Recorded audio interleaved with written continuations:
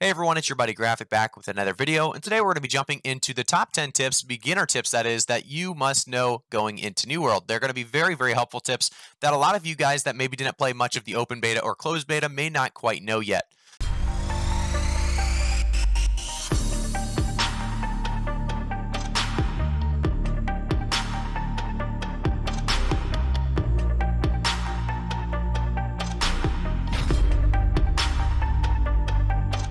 So we're going to start off with number one. You earn some very small amounts of gold when salvaging an item, and it's always better to salvage than to drop an item because you don't actually get anything from dropping an item. Obviously, with salvaging an item, you do get a few repair parts, I believe, and then also you get some gold uh, as well. So definitely that's going to be tip number one. As you are a new player, you probably don't know what's the benefits of salvaging, and all you have to do is hit or uh, you know hold the S key on your uh, keyboard, I should say, and left click the item and hit yes. Uh, so number two, we have next. If you have a ton of extra gold in New World, you can pick up town board quests that require item turn-ins, and this is for very very fast XP. You probably want to do this between level 20 and 25, and then just some of those really areas where you need more XP or more levels to actually continue the main quest. This is probably when you're going to want to take advantage of the town board quest altogether. And uh, like I said, you can just go straight to the trading post. You can buy exactly what you need to turn in. And it seems like you're cheating at this point in time, but you do run out of gold eventually. So uh, it doesn't last too, too long. But definitely take advantage of it when you can if it's something that's very, very cheap on the trading post. We have a couple more tips, obviously, on number three now when completing the daily mission faction quests, do the ones that you know you can do in the highest level regions or zones because that's going to scale with your daily missions bonus. So with faction quests, you get three bonuses daily that's going to give you additional XP. And, uh, you know, like I said, do those in the highest territory you can or highest zone you can because it's going to kind of scale and, uh, you know, it's going to be something worth definitely traveling to a higher zone for.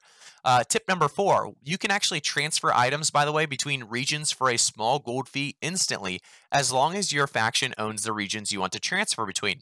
So if you own Everfall, or your faction, I should say, owns Everfall, and you also own Ebonscale Reach, you can actually go to Ebonscale Reach and transfer items from Everfall to Ebonscale Reach just for that very, very small fee. Um, and it's very easy to do so. But to do so, all you have to do is open your storage shed from inside of one of the settlements your faction owns. Use the drop down menu to pick up, or sorry, to pick your storage location, I should say. And if you pick one of the locations that your faction owns, you can withdraw or deposit from it where you are. It's going to be very easy to do. And like I said, it's a very, very useful tool. Definitely something you're going to want to utilize if your faction does control some territories. Tip number five, if you run out of arrows or cartridge ammo in New World, you do not have to craft more. If you don't have the resources and you don't have the gold to go just craft more, that's perfectly fine because guess what you can do? Uh, you can go straight over to the faction rep that we've you know known to love in this game, and you can actually buy these for five tokens per, and it's very very cheap. And take advantage of that. Like I said, going to your faction rep, just quickly grabbing some arrows or buying some arrows off your faction shop, definitely worth doing. Tip number six you can respec your weapon points at any time before le weapon level 10, and this is very, very important because a lot of people don't realize this. And you know, you can try all six abilities before you hit level 10, so you know what abilities you want to take past level 10, so you don't have to constantly, constantly respec. It's definitely worth trying some different things out in the early game. And uh, then, like I said, after level 10, it will cost Azoth to respec your weapons, which is somewhat hard to come by depending on these uh, you know early levels, how much you like to fast travel and how much you're crafting with the Azoth. But uh, I do want to jump into tip number seven now because this kind of relates perfectly with tip number six.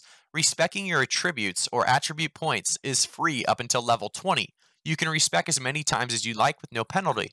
After level 20's initial respec cost, each level will cost 12 gold more than the last to respec. So it doesn't go too crazy until the higher levels, uh, and then it gets a little bit more expensive about level 60, but you're also making more money. So in reality, this isn't too bad. Uh, just keep in mind, like I said, level 20 is going to be the last chance you get, so definitely take advantage of it at level 20 to make sure you have the attributes or attributes where you want them. Tip number eight, the lighter your weight in New World, the less Azoth it'll actually cost you to fast travel around the world. If you need to travel somewhere and do not need to bring your heavy inventory items with you, try storing them in the storage shed before fast traveling to save on Azoth. And that's going to be one of the tips that uh, a lot of people have mentioned in the past, uh, and it's because it's definitely the fastest way to save on Azoth, or easiest way. I guess I should say easiest way to save on Azoth. Um, but you know, you want to make sure to be, like I said, light as light as weight as possible when traveling or fast traveling. The one way to take advantage of this, guys, is to make sure to uh, you know have a full inventory when you recall to a house or recall to an inn because there you're uh, you know you're not using any Azoth and you can be as heavy as you like when you're recalling to an inn or a house. So tip number nine: the first house you buy in New World is 50% off. Use this discount wisely. You may decide to save up and to buy a more expensive house to make the most of this discount. The cooldown for more expensive houses is shorter than less expensive houses. So one thing to keep in mind there is you're getting a 50% discount. It may be worth buying a tier three or tier four house that is going to continue to, you know, like I said, bring more value in the long term. Um, definitely with a 50% discount. Uh, so just keep that in mind. Your first house giving you a 50% discount um, in New World. So when you buy your house, like I said, just 50% gold off. And we want to jump into tip number 10, and this one's very, very useful.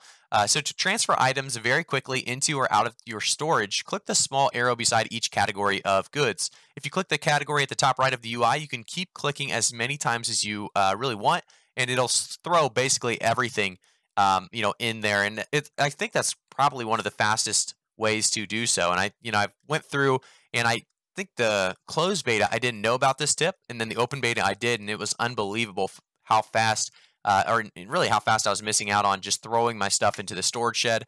Um, and you know, it's just like I said, very very easy to empty all using that arrow at the top right. So let me know if you guys think I missed any beginner tips. I'm trying to you know kind of cover all those beginner tips for people. Uh, I know there's so many out there. I know somebody made a great 100 plus New World tips. If you guys want to check that out, I think his name was Fusion Thunder. So great tips there. He has 100 different tips for you guys if you want more advanced tips. I think he has more advanced. These are just, like I said, all of the basic ones that are beginner tips for some of the new players that didn't really get a play in the open world or, or it's not open world, but the open beta or closed beta. So thank you guys again for tuning in. Make sure to like the video, subscribe to the channel, and turn notifications on. I'll see you guys all in the next one.